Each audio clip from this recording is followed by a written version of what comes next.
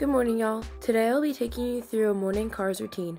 CARS stands for Controlled Articular Rotations. So, starting off your day with these will allow you to get your body moving through your full range of motion while also assessing your body and how you feel. This morning, we will start our CARS with the neck. Before even getting out of bed, we can sit on the edge or kneel on the bed with your arms straight and squeezing your fist. Then flex the neck and rotate the neck. Extend the neck and rotate it to complete one circle. You will want to do this twice each way.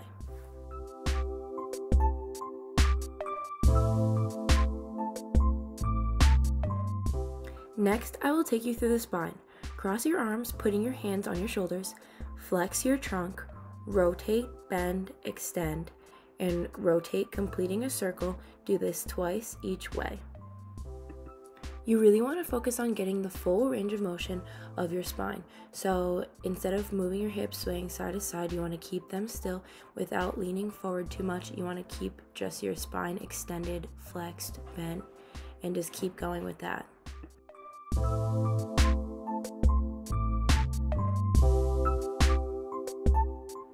Now we will do the shoulder.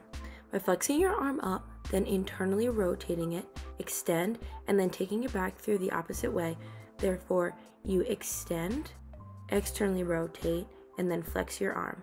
And then do this both ways on each arm twice.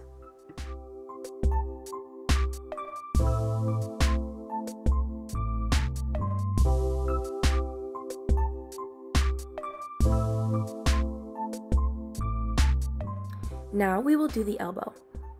Flex the elbow, keeping the wrist straight, pronate, extend. Then once you get down, supinate and flex back up. You want to do this two times through, then go in the opposite order.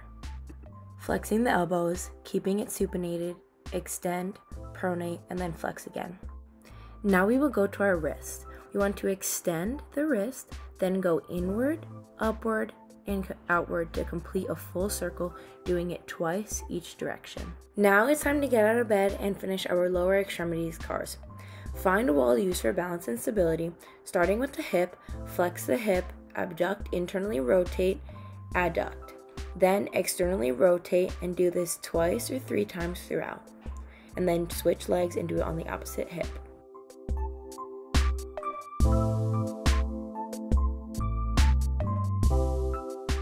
Now we will go to the knee.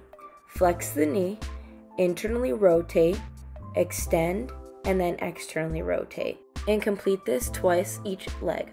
Lastly, we will do the ankle, taking the ankle through a full circle in both directions and doing it twice each rotation on both feet.